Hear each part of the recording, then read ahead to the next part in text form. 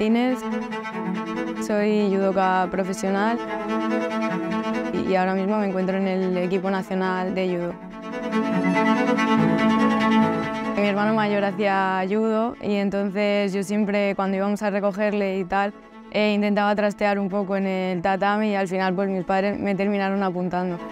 Ahora se ha normalizado más, pero cuando era más pequeña no, no había tantas niñas que hicieran judo, de hecho yo siempre estaba con los niños. Actualmente yo creo que hay muchas niñas que practican deporte en general y judo también, en particular porque se ha normalizado mucho que no se divida por sexos el deporte, sino que todo el mundo pueda practicar cualquier deporte y yo creo que cada vez hay, más niñas y también lo notamos un poco en la alta competición que también el nivel es mucho más profesional. No sé si, si, hay algún momento en el que me haya dado cuenta o que haya sido un punto de inflexión para ser deportista profesional, sino que a lo largo de, de mi carrera deportiva pues he ido sacando resultados desde cadete o junior, que son épocas un poco más complicadas en las que los niños a lo mejor dejan el, el deporte pues, por estudiar o por otros motivos. Y, y claro, como a mí me, me, iba yendo bien, me gustaba el judo, pues pues nunca me planteé como tal dejarlo. Las reglas del judo eh, son un poco complicadas, pero bueno, resumiéndolo un poco, hay, hay dos puntuaciones, se llaman wasari o ippon. Con el ippon se acabaría el combate y el wasari habría que conseguir dos para poder ganar. Hay varias formas de conseguir estas puntuaciones que son en, en judo pie, que es tirando, proyectando al, al contrario, o en judo suelo, que es estrangulando, luxando o inmovilizando. Mi rutina suele ser bastante metódica, eh, normalmente me, levanto, desayuno y demás y me voy a entrenar, entrenamos unas dos horas, dependiendo del día pues entrenamos o, una parte de judo de táctica en circuitos y demás. Y, y, si no hacemos o pesas o cardio, lo que nos toque. Y luego eh, pues descansamos un poco y tal y por la tarde volvemos a entrenar eh, otra vez, pero esta es la sesión de, de, judo que dura unas dos horas aproximadamente.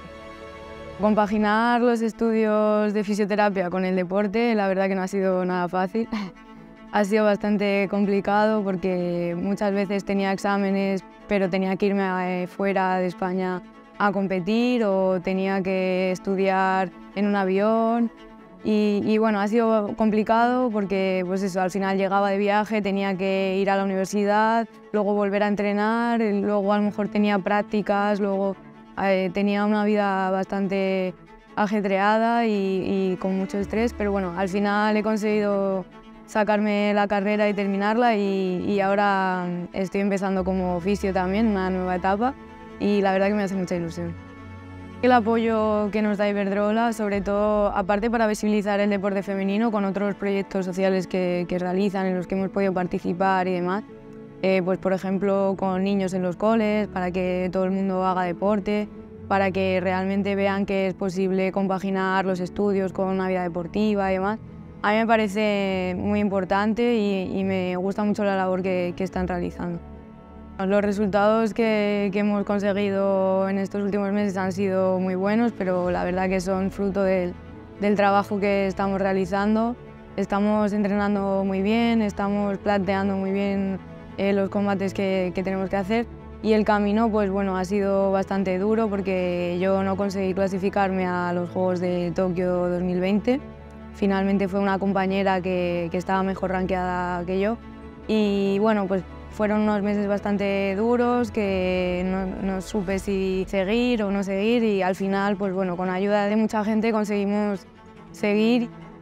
Como cualidad para un judoka a mí me, me gusta que todo el mundo sea humilde, sobre todo. Mm, al final, no solo como buen deportista, sino como, buen, como buena persona. Al final hay muchas rachas que son muy buenas y puedes estar arriba, pero siempre todo deportista tiene alguna racha mala y, ahí es donde hay que ser humilde, hay que ser sincero con uno mismo.